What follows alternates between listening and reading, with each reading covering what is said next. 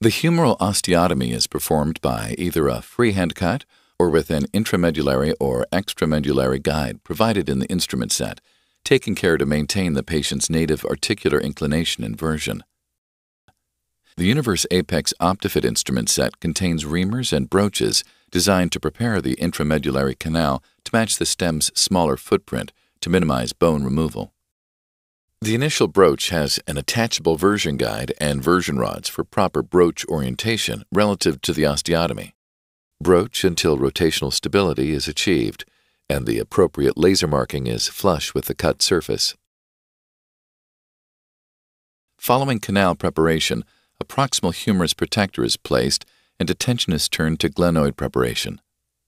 There are three glenoid implants available the universal glenoid convertible baseplate, the keeled glenoid, and the vault-lock glenoid, which provides immediate press fit fixation on the central peg. The vault-lock is demonstrated here. A pin is placed in the center of the glenoid by using the pin guide. The appropriately sized vault-lock reamer is positioned over the pin and the glenoid surface is then contoured to support the polyethylene component. The central hole is drilled with a 6 mm cannulated drill, stopping once the collar comes in contact with the glenoid surface. The glenoid drill guide is positioned by placing the central peg into the previously drilled hole. A short 6 mm drill bit is used to drill the superior peg hole. It's left in place to stabilize the guide for inferior drilling. The inferior 4.5 mm drill bit is then used to prepare for the inferior keel.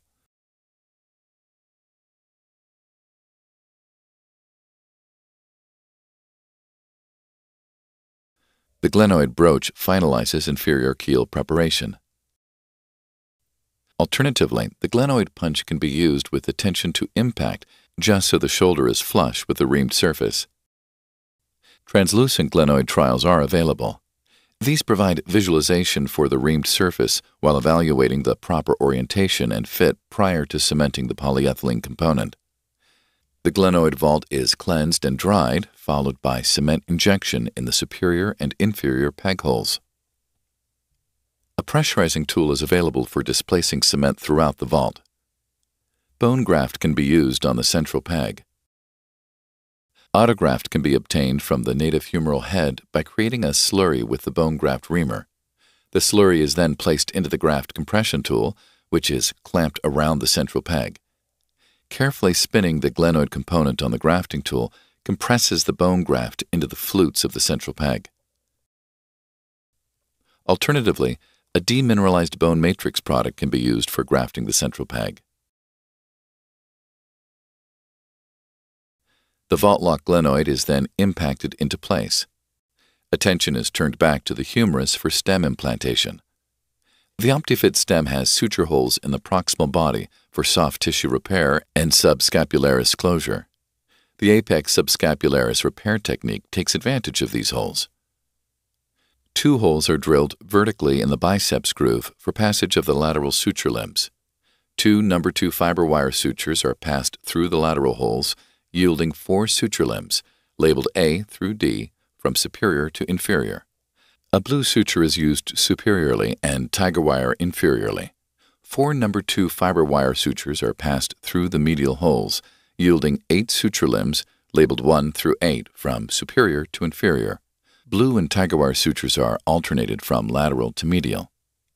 Limbs C and D are passed through the inferior hole from the intramedullary canal out. Similarly, limbs A and B are passed through the superior hole from the intermedullary canal out.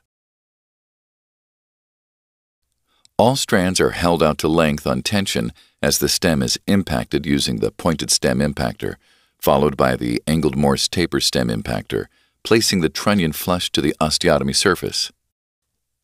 The inclination inferior and version superior screws are then tightened with the torque driver.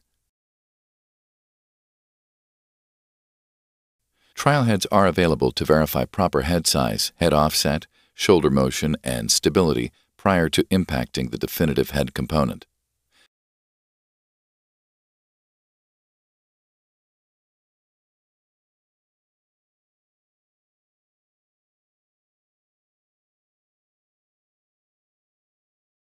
Suture limbs 1 through 8 are evenly placed through the medial aspect of the subscapularis tendon from superior to inferior.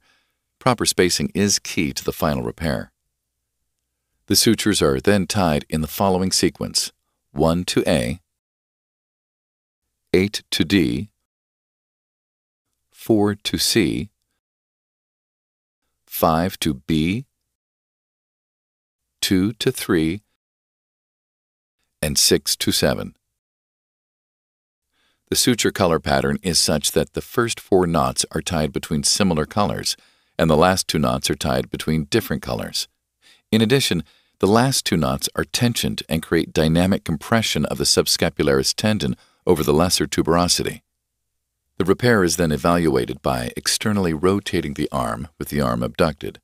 The degree of external rotation achieved without stressing the repair is noted for post-operative therapy limitations. The wound is irrigated and superficial closure is performed according to the surgeon's protocol.